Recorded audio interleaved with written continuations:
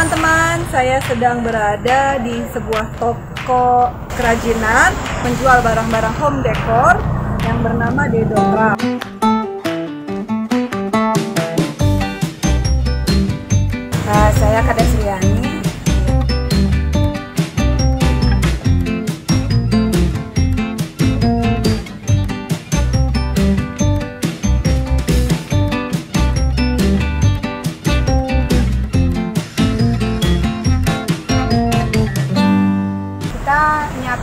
Yang dari NDF, sama ada juga yang dari kayu.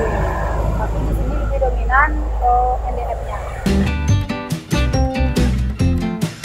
Kalau MDF sebenarnya kuat ya, asalkan nggak kena air aja. Ini kuat ya. Nah MDF makanya bisa Oh, MDF dia lebih gini, lembut ya, lebih halus. lunak. lunak. Kalau, kalau nampan susah bikin dari kayu karena nggak ada kayu yang lebar. Oh, Kalau MDF kan lebar dia bikin apa aja. iya, iya. 8 tahunan. Oh, udah 8 tahun ya. Dulu kan kakak saya juga udah ada usaha frame foto, kaca, Oh, awalnya dari dari bikin frame, ada pesanan frame gitu. Ya, makanya langsung kita buka aja toko untuk nyiapin frame, box. Awalnya kan kita harus buat dulu, buat yang dari mana, ukuran apa, kita buat dulu, kita pesan ke tukangnya. Setelah berjalan, eh, eh, sudah ada mulai pembeli, tamu yang order, dari tamunya sendiri juga, eh, saya mau kayak gini, saya mau yang ukuran kayak gini, saya buatkan, eh, lanjut lah sampai sekarang. Kalau potongnya ini pakai tangan, apa namanya? tangan? Eh, Diukir.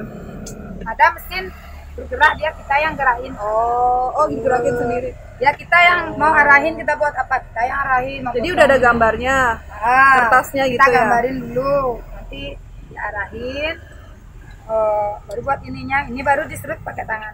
Hmm, buat cipukannya ini kan nggak bisa pakai mesin, yang ini pakai tangan. Oh, banyak juga ya. Jadi berapa lama untuk bikin satu ini? Kalau bikin satu lebih lama daripada kita bikin seratus. Kalau bikin satu dari awal kita dikasih desain, kemungkinan nggak selesai satu hari. Uh, kalau 10 kita membutuhkan waktu juga kurang lebih uh, seminggu.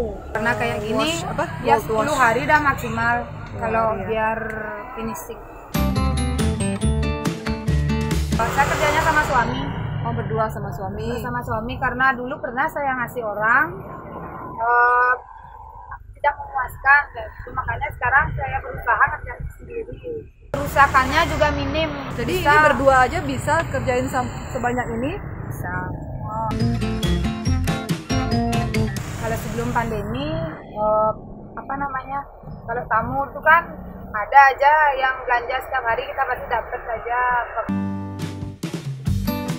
kalau sekarang oh, kita dari awal pandemi sampai sekarang sekaranglah yang paling terasa. Kalau awal pandemi kita masih tetap orderan lancar.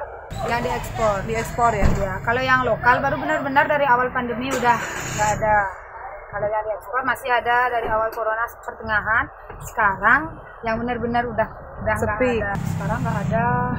Sekarang kosong sekali. Yang mampir nggak ada karena pas juga di sini saya kan kontrak kontrakannya masih jadi kan masih bisa ikut bekerja di tempat orang Eh, kerja kayak gini juga. Oh, gitu. Ah, masih ada yang punya Oh, masih ada yang kerjaan, ekspor-ekspor. ya. paling laku sebenarnya Ini bagus ya buat apa biasanya orang Kan gitu? perhiasan kalau yang kayak gini kalau yang seserahan itu ada nampan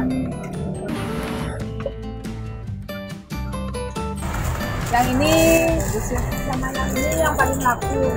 Karena ukurannya mungkin kecil dia tuh gampang bawa box buat perhiasan, perhiasan ya box piramid. ini ada sekat di dalamnya ini pakai teh. Ukurannya kalau ini desainnya siapa? Bagus-bagus. kalau yang ini eh, kalau yang ini emang dari kita. Kalau yang ini baru datang dari kamu. Ada sayap ada pohon pohon kehidupan lagi ngetren nih pohon kehidupan Kaca ya. ya namanya Poster, ya, poster. Katakan gelas. Ini bisa buat pot hampers, pot parcel.